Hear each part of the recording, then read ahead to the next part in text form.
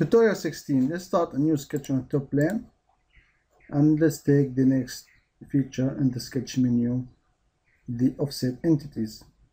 To use offset entities we have to create a sketch. So let's create rectangle center point rectangle and let's make fillet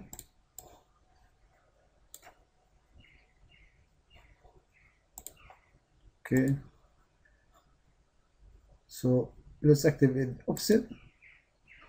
And the offset is making uh, is duplicating the existing sketch making some sketch parallel or offset to it.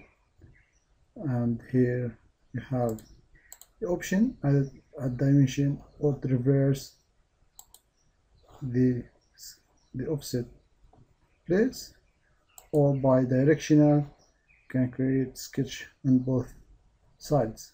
So let's change the offset to be 2 millimeter. And okay.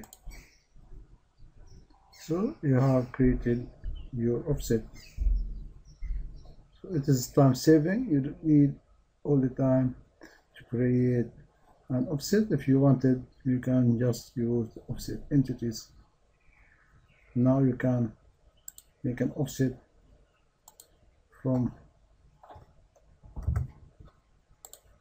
one of these sketches or offset sketches just uncheck the bidirectional and make base construction. Okay. So when you use when you check it the base construction make the original sketch to be for construction. And that one that you made the one you will be used.